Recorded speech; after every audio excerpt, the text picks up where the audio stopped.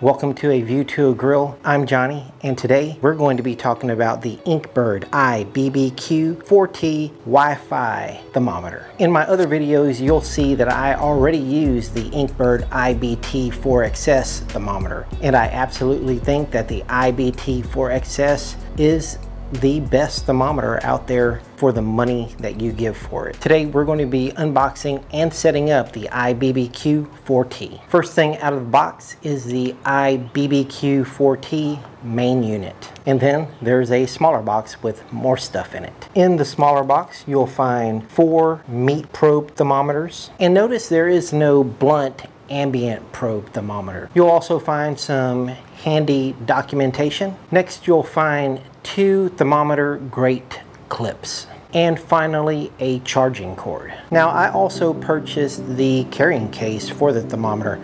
You can use the box for a storage container just like I used the box for the IBT 4XS as a storage container but this gets pretty um, banged up and kind of disgusting looking and it's not always the easiest thing to open.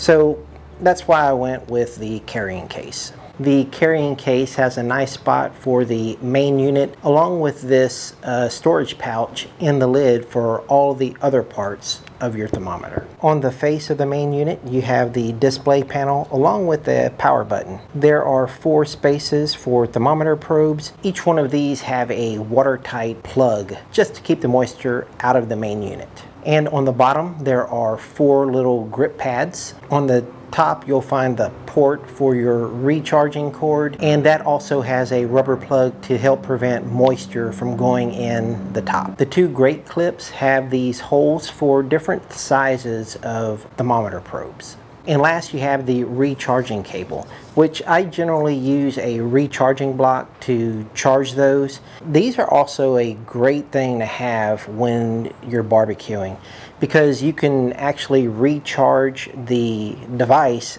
as you're using it. So if you don't have one of these, I'd really recommend that you grab one. I have the link below if you're interested in it. And finally, we have four meat probes. In this case, you'll just use one of the meat probe thermometers to measure the ambient temperature of your pit. And if you need four meat probe thermometers, well then you have four meat probe thermometers also. Now the documentation, it's there, but honestly, who reads those things? By this time, a company is really hurting itself if its software is not intuitive enough for everyone just to turn it on and start setting it up.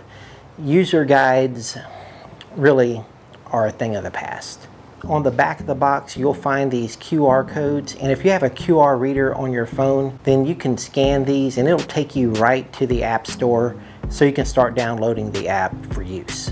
If you don't, or if you don't know how to use it, start up your app store, go directly to the search bar, type in Inkbird Pro, and start downloading the app that way, which is what I've done. Once the software has downloaded, then you just open the app and start following the on-screen instructions. In this case, Inkbird has nailed it, and as long as you follow the on-screen instructions, it leads you from start to finish and tells you everything you need to do. Just follow those instructions to a T and you'll be just fine in setting up your app.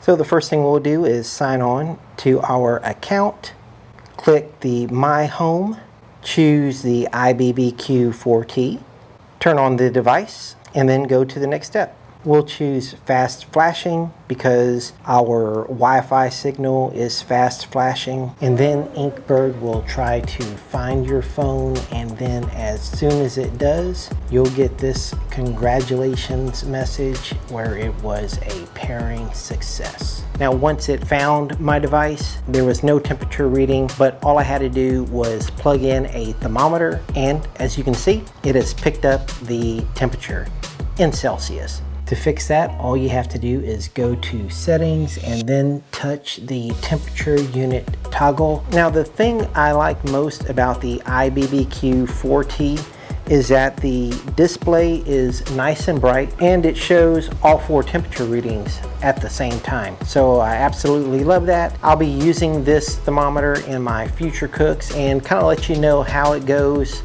in each one of those cooks. Thank you for watching a View to a Grill. If you haven't already, go ahead and hit the subscribe button. I'll see you next time.